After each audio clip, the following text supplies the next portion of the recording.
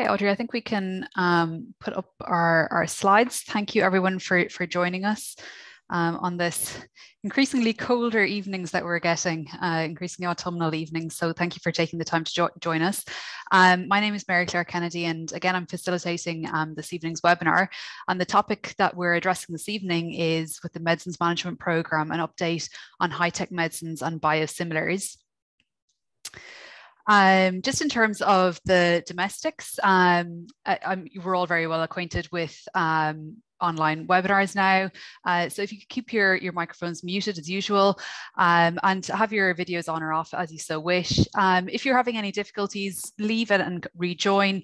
Um, but um, we have Audrey sitting here in the background as well who can help uh, if, if anybody's experiencing any particular issues. Uh, there's a chat box at the very bottom. If you hover over your screen, you can see the chat box and we'll allow time for questions at the end. Um, this webinar is being recorded and will be posted on the website um, in the coming days. And also we'll share a, a, feedback survey as well towards the end of the session. So we'd appreciate any comments you have on this and on any other sessions you'd like to, to hear from us. Um, okay, so moving on to our speakers this evening. Um, thanks, Audrey. Um, so we're joined this evening by um, three different um, individuals from the Medicines Management Programme.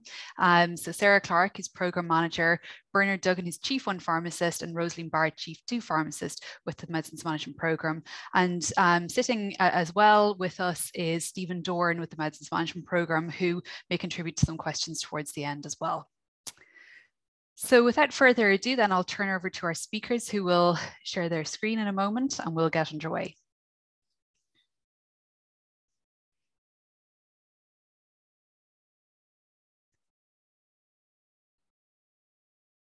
That's great, Sarah. I can see that. That's perfect. Thank you. Okay, hi everybody. Um, thank you so much for having us tonight and it's it's nice to be able to give an update on the work that we're doing um, as um, Mary Claire already mentioned, so I'm Sarah Clarke, and I've been with Medicines Management Programme since 2013, um, or 2014 actually. And um, we have Bernard and Rosen with us tonight, but we are a team of, um, of 10 people at the moment, um, a number of pharmacists. And We also have an epidemiologist um, working with us. So um, it's just nice to be able to give you an opportunity, I suppose, to show some of the work that we're doing um, and give you a better understanding of it. And now I slides aren't, oh, there you go, good.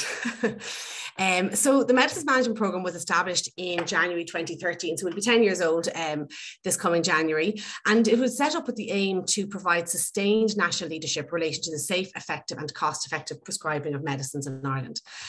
Um, where we sit within the HSE, I suppose, um, is useful to know in that we sit under the Chief Clinical Officer, Professor Colm Henry, and we are alongside a number of other uh, programs. So the clinical uh, strategic programs, uh, national cancer control programs, screening services.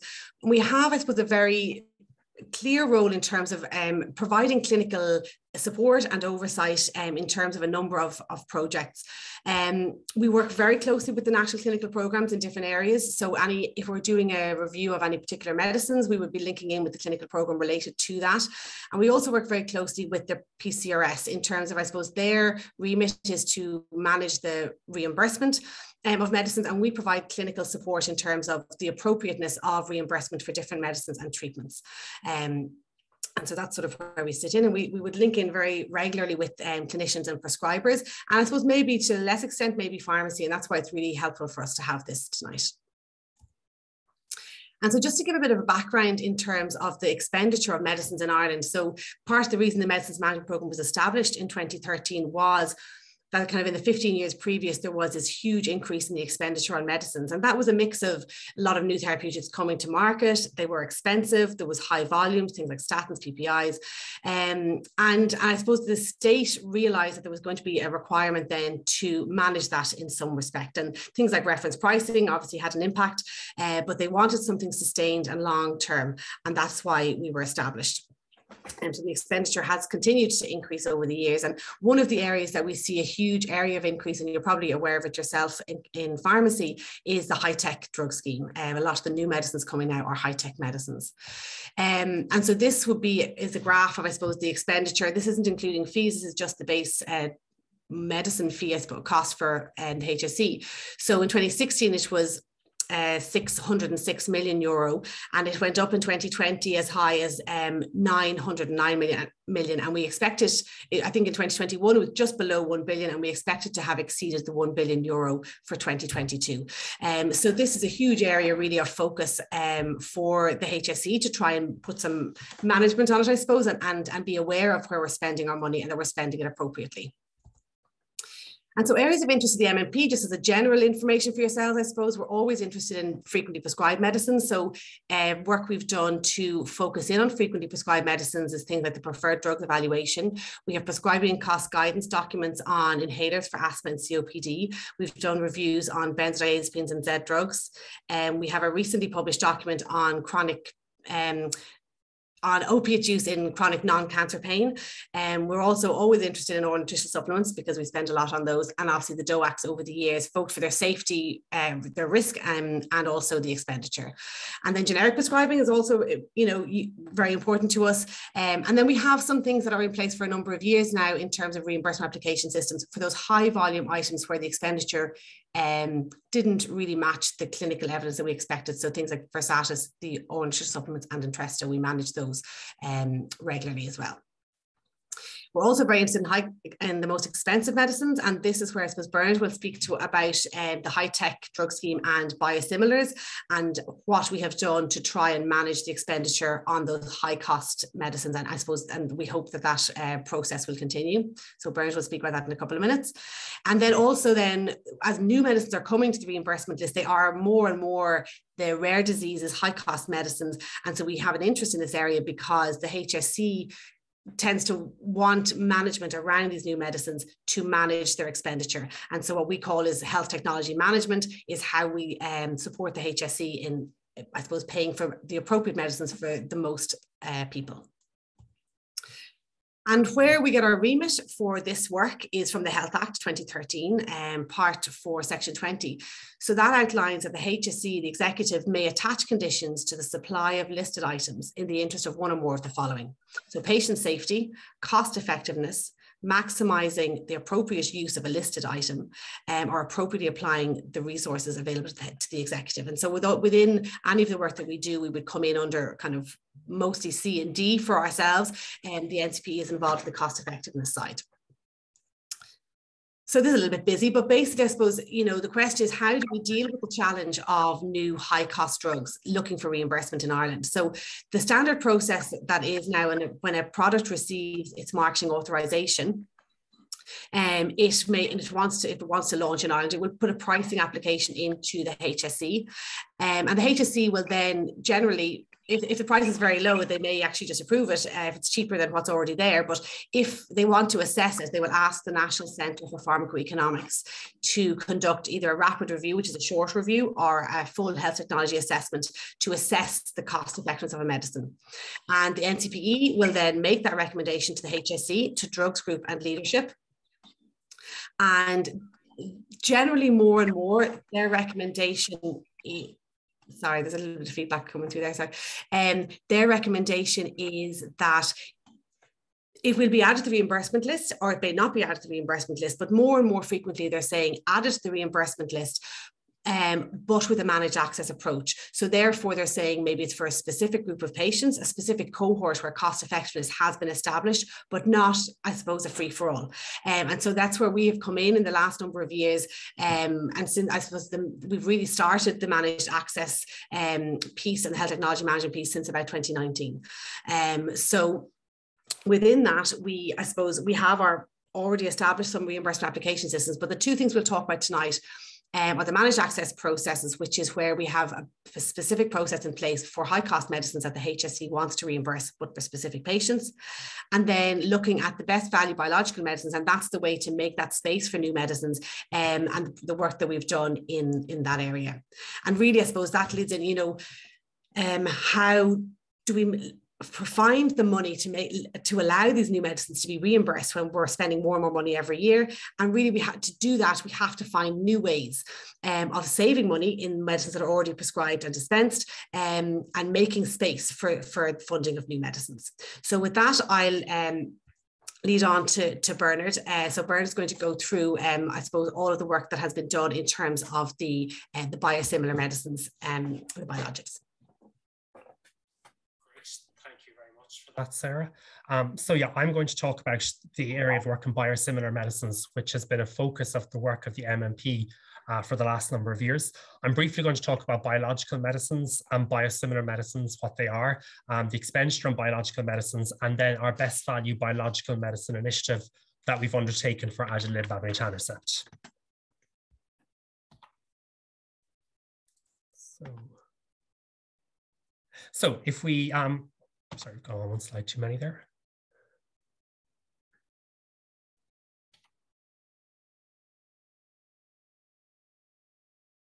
Just have issue sharing screen here.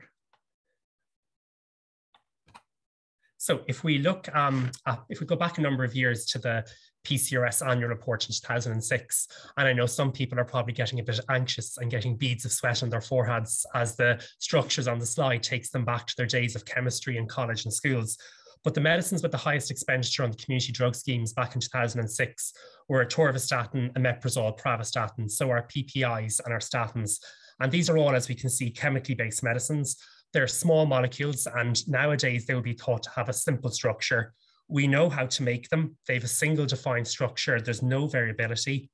They're made by a predictable chemical reaction, so we can make an identical copy of them. So they're easy to fully characterize their structure. So once the patent expires, generics can be made, which are exact copies, and those generics have to undertake pharmacokinetic studies to show that they've equivalent bioavailability. And then we have licensed generic versions of these chemical medicines.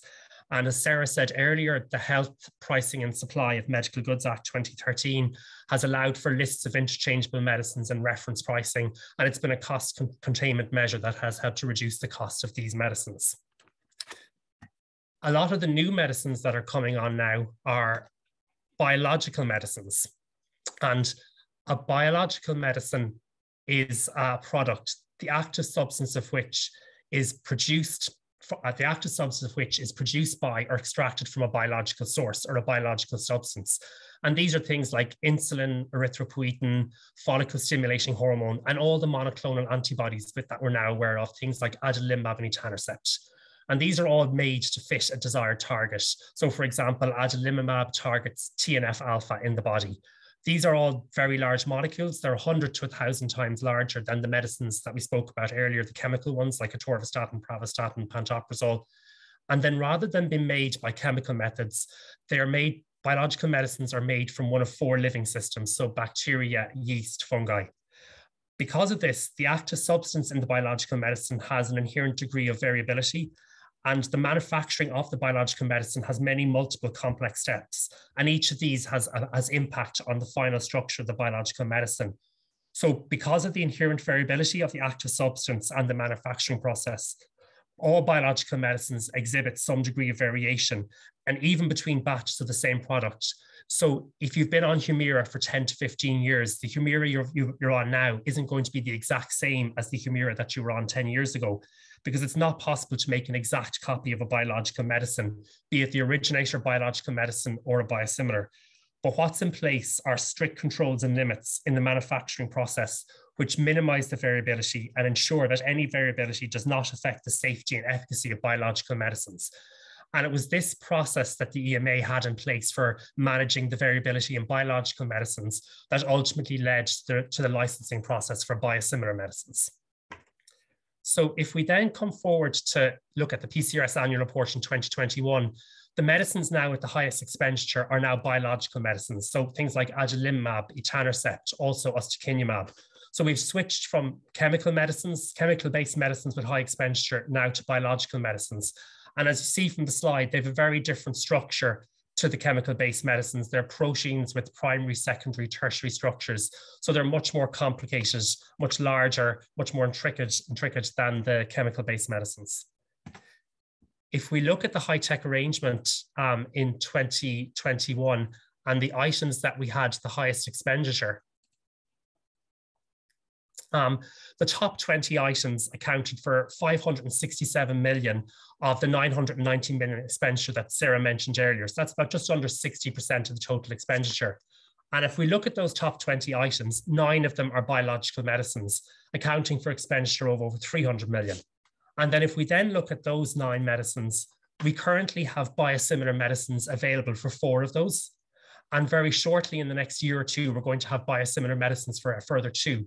So of the nine, not for nine of the top 20 medicines and the high-tech arrangement are biological medicines. And we have or are shortly going to have biosimilar versions of six of those very shortly.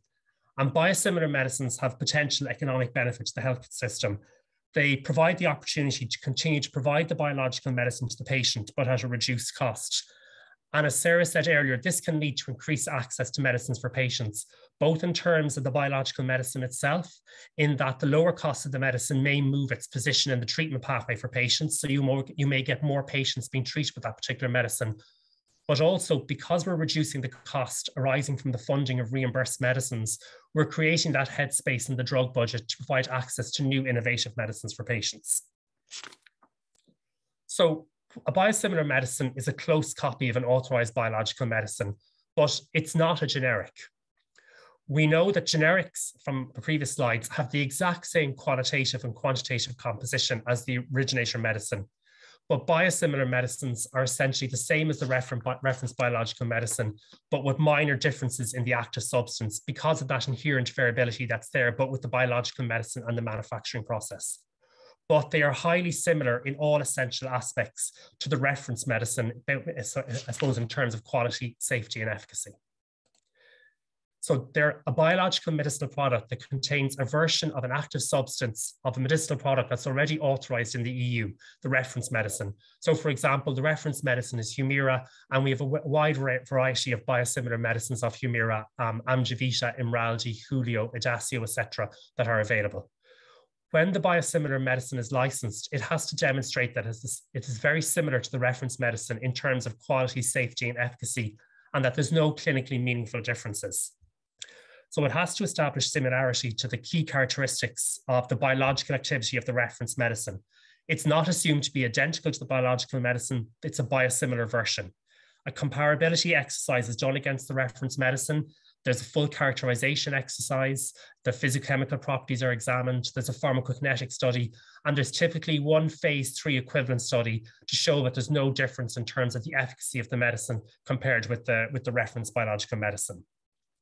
And the EMA allows the range of variability for the biosimilar medicine in comparison to the reference medicine, uh, similar to that which is allowed for batches between batches of the reference medicine. And as of last month, there's more than 70 biosimilar medicines licensed by the European Commission. So if we look at the biosimilar medicines that are available on the community drug schemes, we have nine biological medicines that we now have biosimilar medicines available. So we have one biosimilar with Erythropoietin, we have a number of biosimilar filgrastim, which is your granulocyte colony stimulation factor that's used for the treatment of neutropenia um, in chemotherapy patients as long, uh, in, along with other indications. We have two biosimilar medicines of follitropin alpha, which is used for in vitro fertilization. We have three biosimilar medicines of teriparatide, which is used in the treatment of severe osteoporosis. We have one insulin biosimilar, we have two etanercept biosimilars, which are used um, in dermatology and rheumatology. We have six adalimumab biosimilars, which are used by gastroenterology, rheumatology, and dermatology. We have a biosimilar version of pegfilgrastim, which is used in the treatment uh, prevent neutropenia in patients on certain types of chemotherapy. And recently, we now have one uh, subcutaneous infliximab biosimilar, which is available on the community drug schemes.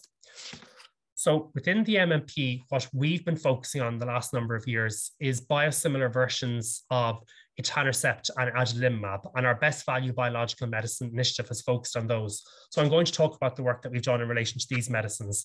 And you've probably know, and I know from the feedback we got in the questions that were circulating with the registration, a lot of people have noticed a, quite an, an uplift in the prescribing of these biosimilar medicines in comparison to the originator products. So if we go back to 2017, in terms of adalimumab, our total expenditure on that medicine was 130, just over 137 million, with about 10,300 unique patients accessing adalimumab on the high-tech arrangement in 2017.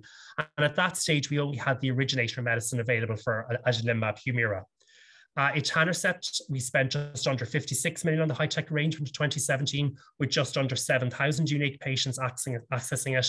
And at that stage, we did have biosimilar versions of etanercept on the high-tech arrangement since November 2016. When we look at 2017 as a whole, even though we had biosimilar versions of etanercept available since November 2016, the considerable amount of the utilization and expenditure still remained with the reference medicine Enbrel. So 99.5% utilization and expenditure were on Enbrel, with only very limited handful of utilization of Benepali, which was the biosimilar product. And I suppose there was a lost opportunity there in terms of the potential savings that were available to the, the HSE arising from the funding of this medicine. I suppose the important and another point to note is that biological medicines have been specifically precluded from, from being designated, um, being designated on a list of interchangeable medicines by the HPRA through the Health Act. So for a prescriber to, for a patient to be initiated or switched to one of the biosimilar medicines, the prescriber would have to make the decision to prescribe the biosimilar medicine for that patient and issue them with a prescription for that medicine. So the, decision would rest with the prescriber.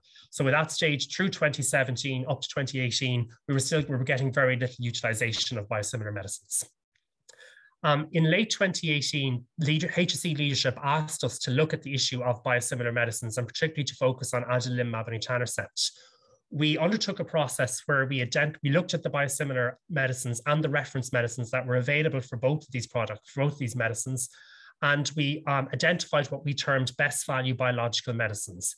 We had a variety of criteria that we looked at. Um, obviously cost was important, but we considered other factors like the range of indications of each product, the various presentations that were available to allow administration to different patients, the patient support programs that were in place by each from each of the marketing authorization holders, because these are all self-administered injection devices, so patients would require support in doing that. Um, we published our evaluation report in May 2019, and in that, we recommended our best value biological medicines, or essentially our preferred products for adalimumab and etanercept um, for prescribers to, to, to choose when prescribing these agents for patients.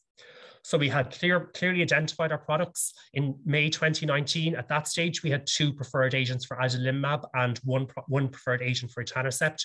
We've since uh, conducted further reviews as more products have come to market and we now have six preferred agents or best value biological medicines for adalimumab, that being Amjevita, Idacio, Hulio, Imraldi, Hyrimoz, and Yuflyma. And we have two preferred agents for etanercept, Benepali, and Erelzi. And I suppose we would have gotten feedback from clinicians at the time that even though we could have just gone with one product, they still wanted the they still wanted a choice of products for patients, and that allows for some patients who have a particular problem with a device, or if they're experiencing an adverse drug reaction because of a particular formulation, the option is there to try them on another product. I suppose a key point, one of the key points is that the best the identified preferred products are best value biological medicines cost substantially less than the originator products. So by prescribing, dispensing and using the identified BVB medicines, this is leading to significant savings for the health service in the order of millions of euros. And that's again creating the headspace for access to new innovative treatments. So in terms of, we identified our best value biological medicines in for adalimumab and etanercept in May 2019. And then we moved to work with um, clinical teams in terms of implementation. So the first thing we did was develop a suite of resources for healthcare professionals. And these are available in a dedicated section on our website, the Best Value Medicine section, which then has a section on the Best Value Biological Medicines. And this section contains all the information on our best value biological medicines, and it has a variety of resources to support healthcare professionals. We have a questions and answer document that we update regularly. We have product developed product information sheets for each of our best value biological medicines. And this just, these go through the best value biological, each of the products. They talk about how the various, um, how each should be administered, the storage conditions, and it also mentions any nuances in terms of similarities and differences between the reference medicine. So if you have a patient who's being switched from one of the originator products to one of these, just things that you need to, that you might want to think about telling the patient about. And these are for all clinical teams and they're also accessible to pharmacists and they might be helpful things to look at in your practice. We have information on the patient support programs and how to access them for each of our preferred products. And we have other resources that probably are more prescriber specific in terms of template for switching letters. We also have copies of all the communications that we've issued to prescribers in relation to the Best Value Biological Medicine Initiative on our, on our website. Um, the high tech, we, we moved to implement the best value biological medicines in June 2019. And this coincided with the deployment of the high tech hub to the specialities of dermatology, gastroenterology, and rheumatology, who would be the cohort of prescribers who were who are prescribing adalimumab and etanercept. And I suppose the high tech hub has acted as a useful tool in terms of supporting the prescribing of the BVB medicines um, it, when the prescriber goes in to use the high-tech hub, the BVB medicines are clearly designated on the hub as BVB medicines, so they're readily identifiable. When you're prescribing a biological medicine, it's very important um, and would be recommended by the, the, medicines regulators that they're prescribed by both the INN and the brand name because of pharmacovigilance and traceability, and the high-tech hub supports that. And also, we've done some work with the clinicians in terms of building in a pre populated patient support program registration form into the hub for the first time a patient is prescribed one of the preferred agents. We've done a lot of work in terms of engaging with the national clinical programs for dermatology, gastroenterology, rheumatology, and the clinical leads for those three programs have really acted as change champions in terms of in, terms of encouraging their colleagues to support this initiative, but also for doing it on the ground themselves in their own hospitals and for giving us feedback on what's going well and maybe what we need to think about in terms of modifying the process. And that's been very helpful as we've rolled out to various hospitals around the country. We have done a good bit of engagement with patient support groups, and I'll talk about that in a few slides' time. We also have done site visits. So in conjunction with the High Tech Coordination Unit, we have done information sessions to the three, to gastroenterology, rheumatology and dermatology teams in their hospitals nationally, where we've done an information, the High Tech Hub provided an information session on the use of the hub, and we've talked to the prescribers about the BVB medicines um, and how we can support them in prescribing them and increasing their uptake.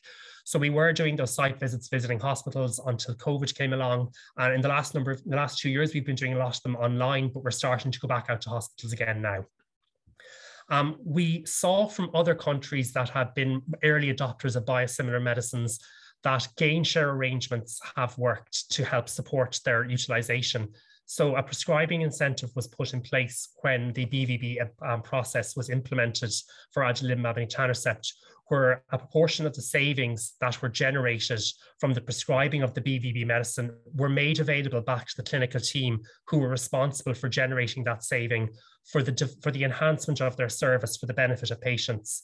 And we've seen uh, some excellent projects been undertaken at, at local level and hospital in the three clinical settings um, in order to develop their services for patients. In February 2020, we had uh, got approval from HSE uh, executive management team for a policy that all new patients who were starting treatment uh, for the first time with adalimumab or etanercept should be initiated on one of our preferred agents.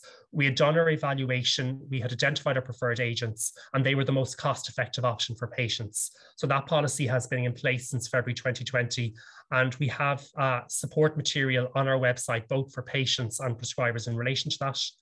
And we've engaged in regular communication with prescribers, both formally in terms of writing them to update them on the BVB process and to provide updates on their utilization.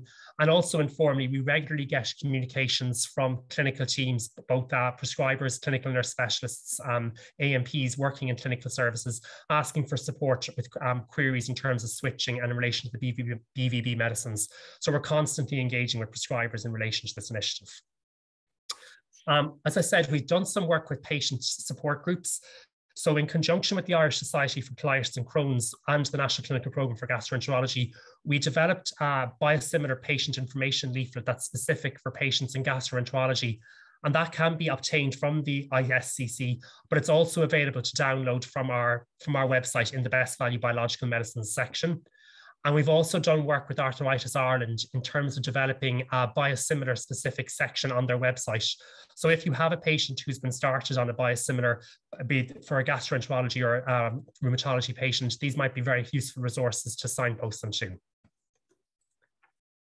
I suppose just to look at where we are now in terms of the uptake of our biosimilar medicines, um, if you go, if you look at the left-hand side of the graph, the blue line represents the number of patients that are on Humira, and the red line represents the number of patients that are on our BVB medicines. So if we go back to the left-hand side to June 2019, even though we had biosimilar medicines on the high-tech arrangement since November 20, November 2018, by June 2019, we were seeing very little utilization of them, with about 8,000 patients on adalimumab, 40 on a monthly basis on the high-tech arrangement, and the vast majority of those on Humira.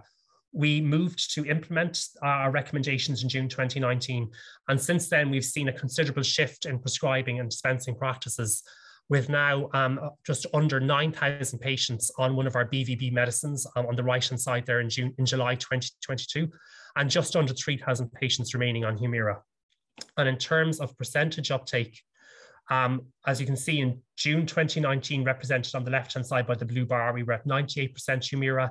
And as of July 2022, on the right-hand side, we now have just over 76% of patients who are accessing one of our preferred agents, one of our BVB medicines, and about 24% of patients who remain on Humira.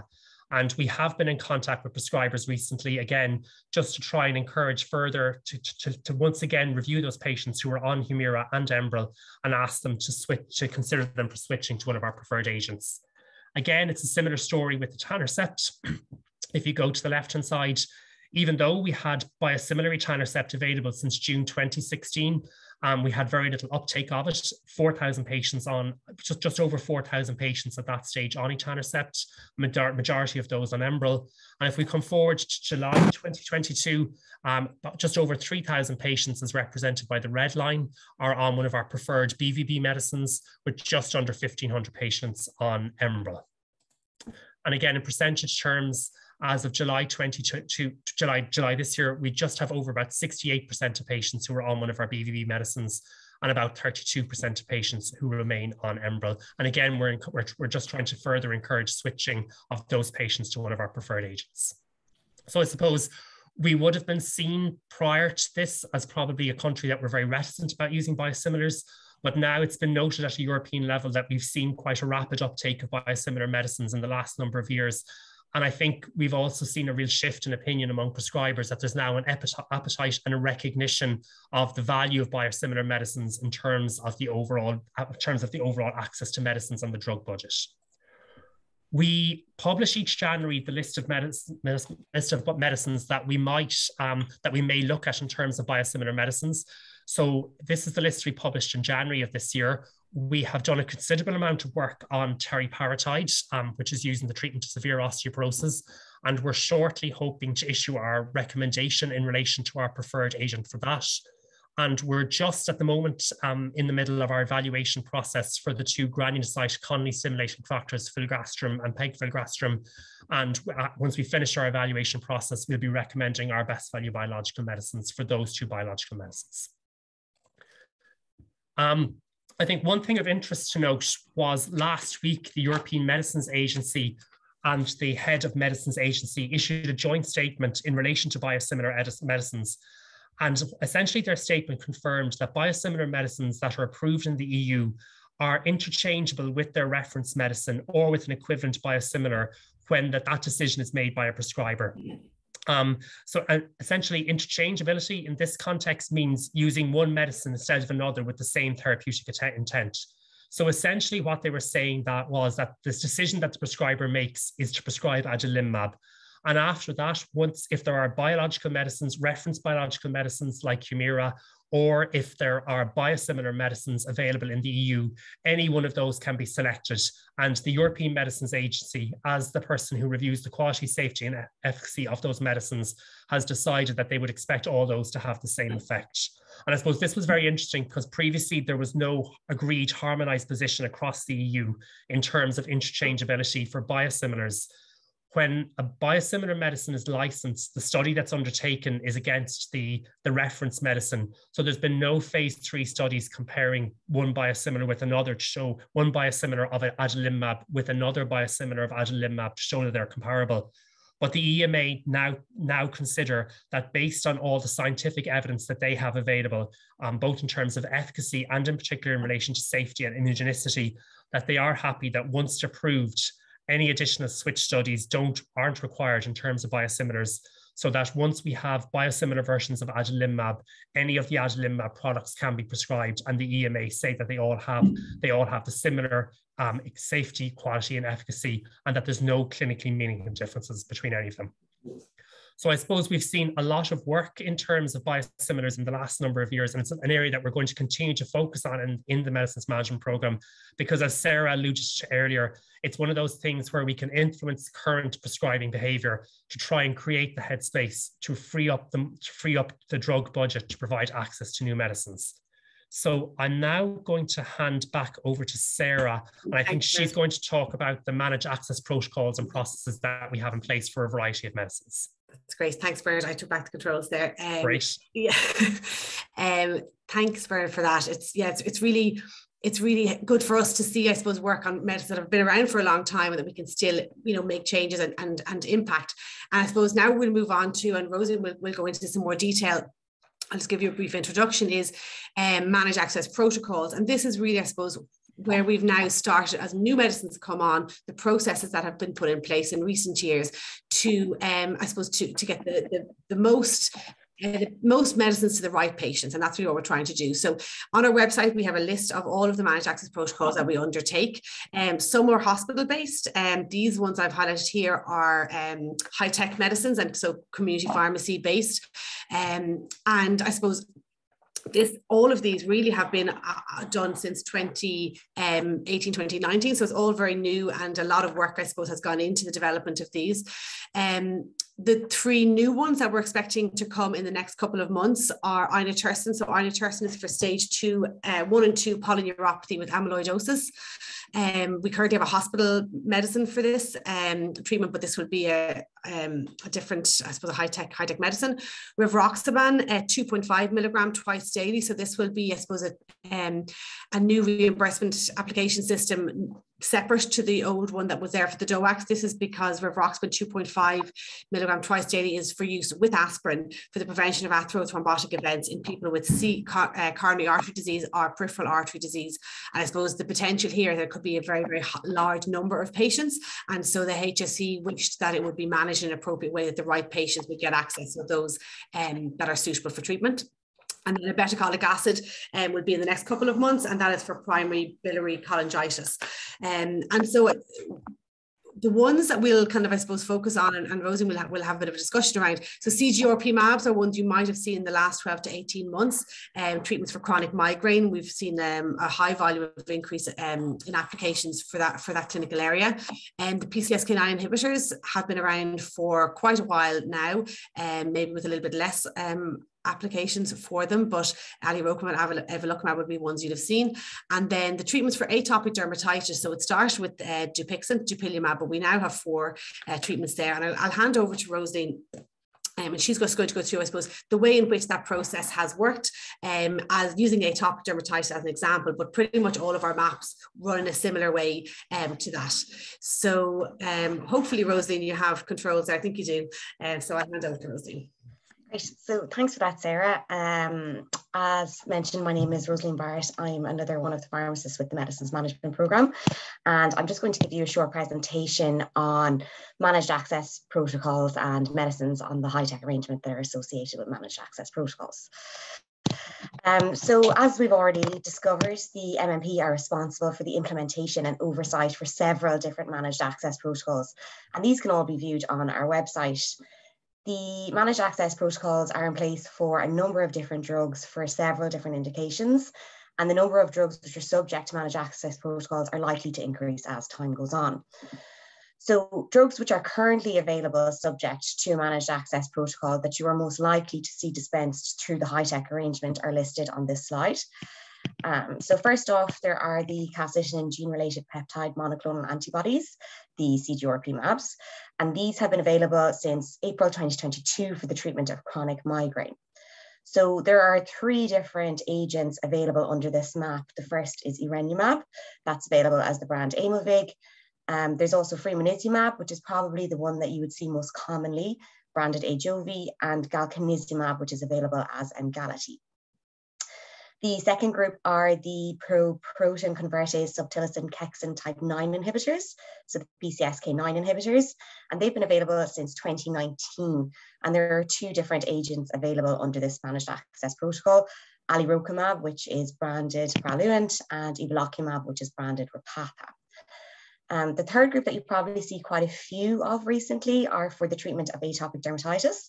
Um, and they include abrocitinib, dupilumab, tralokinumab, and upadacitinib. And I will speak about all of these in a little bit more detail later on in the presentation. Um, so why do we have managed access to medicines? Well, the MMP establish and implement managed access protocols based on guidance from the HSE Drugs Group. So the HSE Drugs Group and HSE leadership are the people who make the recommendations as to whether drugs should be reimbursed via community drug schemes or not. So they can say, yes, it should be reimbursed, no, it shouldn't be, or yes, it should be reimbursed, but subject to specific conditions. And this third cohort is where the MMP and managed access protocols come in. Um, generally speaking, managed access protocols are recommended for high budget impact drugs. So those are drugs which just cost a lot of money.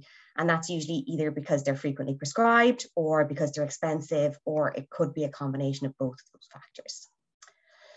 So you can see a couple of examples on this slide. Um, I won't dwell too much on the detail, but you can see from the last column that all of these drugs have a high budget impact, which could potentially cost the state millions of euro over the course of five years.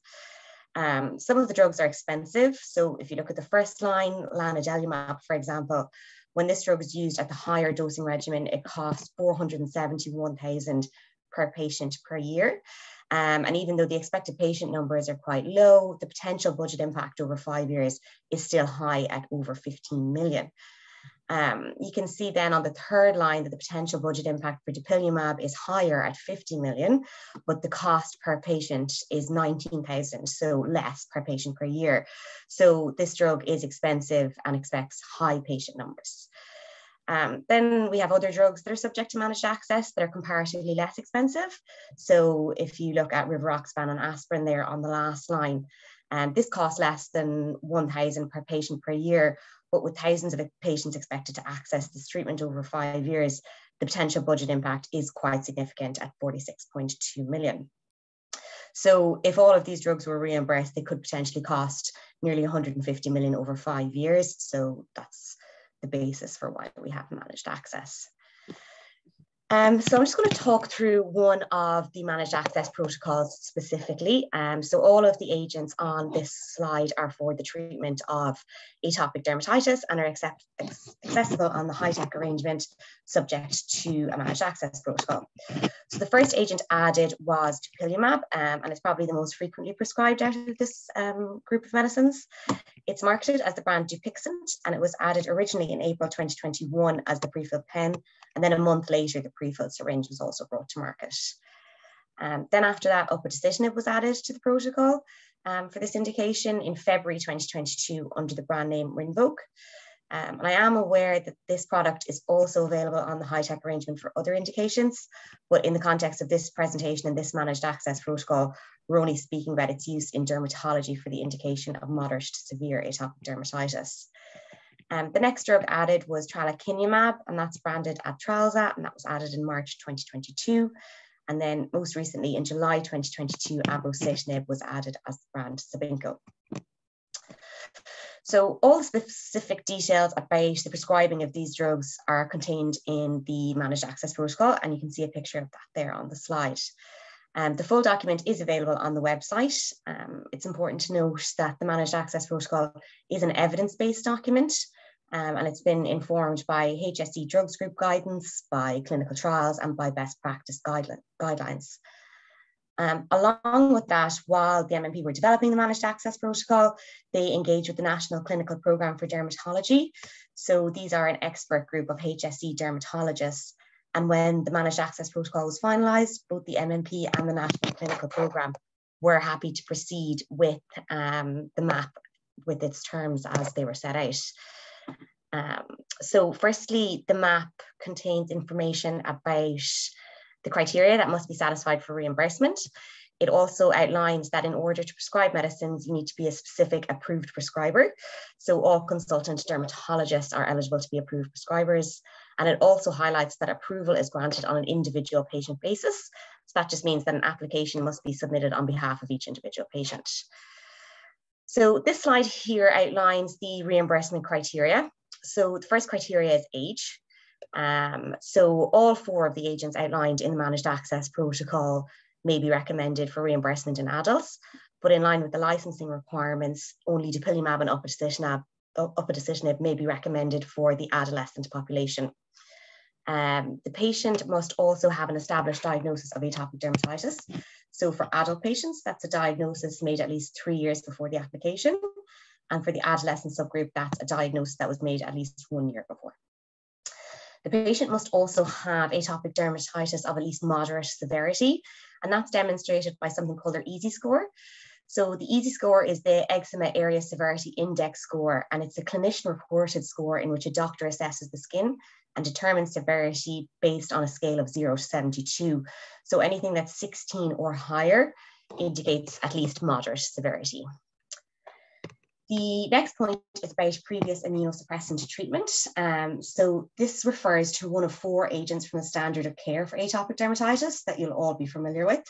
Um, so they are azathioprine, cyclosporin, methotrexate, and mycophenolate. Um, and as per the drugs group guidance, immunosuppressant treatment must have failed. So that is that the patient had an inadequate response to a trial of one of those medicines, that the treatment must not be tolerated. So that's that the patient had a clinically significant adverse reaction to one of them, or there must be a contraindication to the immunosuppressant medicine. And then along with all of those above points, the patient must also be in receipt of what's called best supportive care. So that's things like emollients, topical corticosteroids, and topical calcineurin inhibitors. So as mentioned, you need to be an approved prescriber to make an application for reimbursement.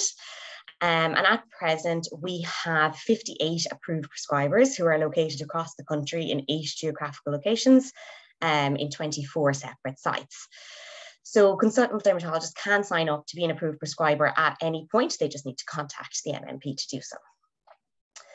So to make an application on behalf of each individual patient, um, the approved prescriber must make an application through the application form. And this is currently a paper-based system, and the application form that you see here must be completed and submitted to the medicines management program.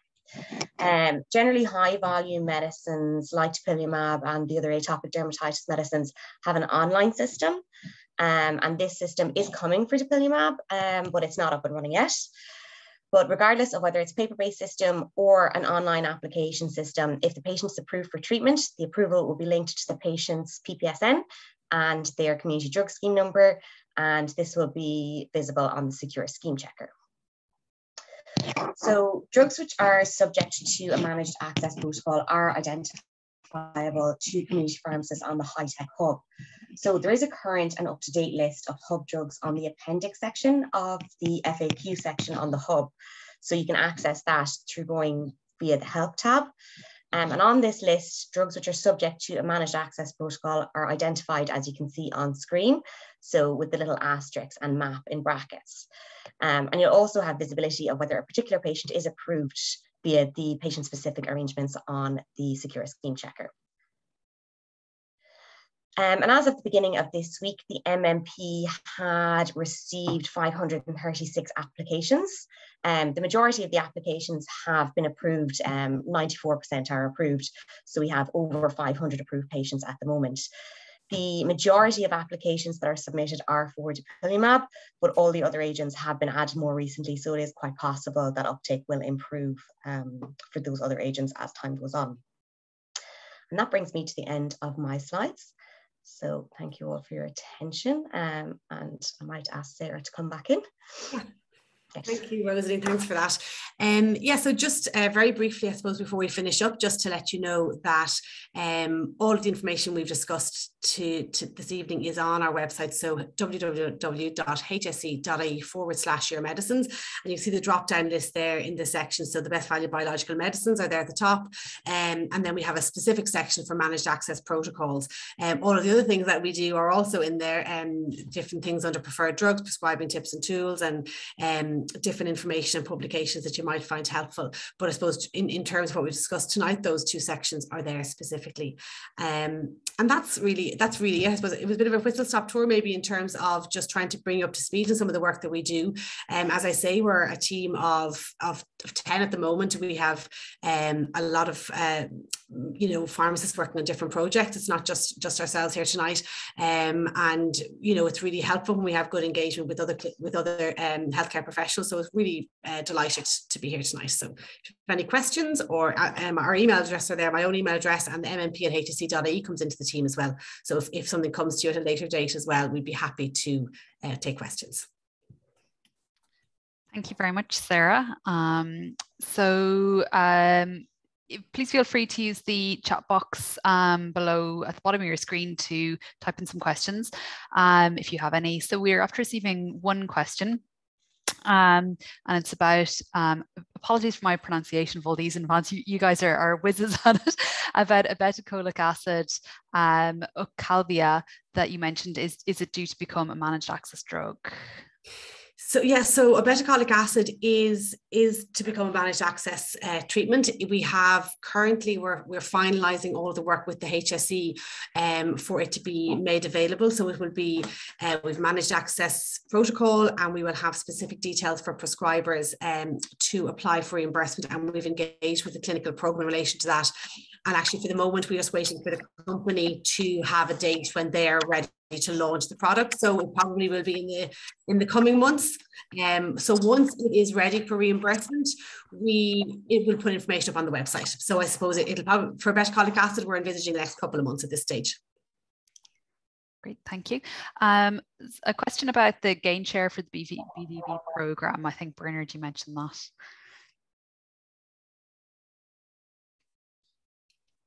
You're on mute there, Bernard. Yeah. Um, yeah, so the gain share program, it, it's something that's been done in lots of other countries. Um, I think one of the prime, there was a prime example um, in Southampton in the early days of switching infliximab biosimilars, Southampton Hospital, um, infliximab biosimilars in gastroenterology patients and I suppose it was in recognition of the work that clinical teams put in in terms of counselling patients, switching them over from one product to another, um, patients doing the patients registering for new patient support programs, talking to the patients about biosimilar medicines. There's a well-recognized thing called the nocebo effect, which um, is essentially that you know by switching from one medicine, one version of medicine to another, that patients will have and, and, and perceive themselves to have an adverse reaction that really isn't there. So a, a lot of work goes into switching the patients, a lot of counselling, communication, and time from the prescribers. So, in recognition of that and seeing what was done in other health systems, we recommended that that consideration should be given to putting some sort of prescribing incentive or gain share arrangement in place, so that clinical teams could benefit from some of the savings within their own services. So when prescribers go in and they have to use the high tech hub for this, because I suppose the high tech hub allows us to clearly identify the prescriber and the site, which the service and site which in which they're working and prescribing the BVB medicine. So when they go in and prescribe um, the BVB medicine for a patient for the first time, um, when they switch the patient to it, that's logged on the, the, the high tech hub. And uh, the gain share arrangement, which is 500 euro per patient, is made available to that particular service within that hospital. And uh, at any point then, since the since the program has been initiated, the hospital can submit a request to draw down their gain share. And a wide variety of, I suppose, service enhancements and projects have been undertaken. I know quite a big uh, um, renovation project has part, been partly funded in the rheumatology service in Connolly Hospital out in Blanchardstown um, in terms of their gain share arrangement. I know other sites have bought particular equipment um, for their for their service, be it an ultrasound, something in rheumatology. So there's been lots of different projects that have been undertaken, um, and so I suppose it's using the savings that to put it back into the service to benefit the patients themselves who are accessing the service. Mm. Thank you. And another question for you. Um, it's about the statement from the EMA uh, about interchangeability of biosimilars. Has this been implemented in Ireland? And does that mean that prescribers can pres prescribe via INN rather than brand? So I suppose the statement came out last week from the EMA, and it's a position statement. It's an EMA position statement in terms of interchangeability. And what they're saying is that if they have if they have reviewed if let's say take for example adalimumab, if they have approved medicines for adalimumab and they've approved the reference medicine Humira and they have approved the biosimilar medicines, and essentially what they're saying is that the decision of the prescriber is to prescribe adalimumab, and whether they prescribe a biosimilar or a bi or, or the reference medicine, there is no expect there is going to be no clinically meaning difference in terms of quality, safety, and efficacy. And they've always said that the biosimilar medicine is interchangeable with the reference medicine because that's how they license the reference, they license the biosimilar medicine. But there's never been any studies to show that one biosimilar version of, for example, adalimumab is directly clinically comparable to another biosimilar version of adalimumab because con- companies aren't going to fund phase three studies when their medicine has already been authorized, having done that study against the reference medicine. But the EMA have reviewed all the data that's out there. They've reviewed the scientific data in terms of the quality, safety, and efficacy. And they're saying now that the that the decision is to prescribe adalimumab and what, what version of adalimumab you prescribe after that, it doesn't make a difference. So if if the patient's on a biosimilar and they're having some issue with it, for example, they can switch them to another biosimilar if it's because of the formulation. And we do plan in the coming weeks to write out to the prescribers in rheumatology, dermatology, and gastroenterology to make them aware of this EMA position statement. And hopefully that will be a further impetus to encourage prescribers to look at their patients that remain on Humira and just to just consider them for switching to one of the biosimilar medicines. Thanks, Bernard. Um, questions are slowing down. This might be our final one. Um, oh, sorry, we've, we've another one popped in. So, um, so about consenting patients. Um, so previously, patients had consent uh, before switching. Is this now removed? Is the consent step removed for interchangeability? Well, I suppose it's the, the medicines haven't been dignified. So we have to be very careful. There's a, there's two distinct, there's interchangeability in terms of what the EMA are talking about is where a prescriber makes the decision to switch the patient from a reference medicine to a biosimilar or a biosimilar to a biosimilar. We have within Irish legislation, we have lists of interchangeable medicines, and that's a different thing. And that's where we have um, the medicines have been deemed interchangeable by the HPRA and pharmacy substitution can happen. But in terms of what the EMA are saying for interchangeability, is that they should still the prescriber can pick a, a version can pick adalimumab and a particular adalimumab product, be it a biosimilar or the reference medicine, but they will still decide which particular product they will get. The prescriber will make that decision. Thank you.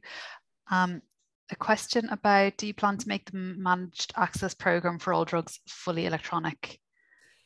Yeah, we would definitely we would um, enjoy it more if everything was um, electronic and online because obviously the admin in terms of paper-based applications coming in and having to communicate back via email but we work really closely with the PCRS, and I suppose all of our IT framework is from the PCRS that they put a lot a lot of time, and they have a lot of other things to put IT builds into as well. So in general, we join the queue um, and we prioritize our most um, our biggest projects. So the reason, for example, CGRP maps for um, for uh, chronic migraine went on was that we really knew the volume was going to be very high there, so we prioritized that for our um, initial IT uh, build and we really hope to have it for dupilumab uh, this year. But it just, you know, we have to prioritize. Uh, we're, we're working with, I suppose, rivaroxaban is the next one that will go online, um, and we there's also, I suppose, some of the treatments there that you probably are all aware of in terms of weight management. Um, the Saxenda, Wegovy, things like that. We know volume potential will be high on those, so we do have to prioritize. But yeah, I think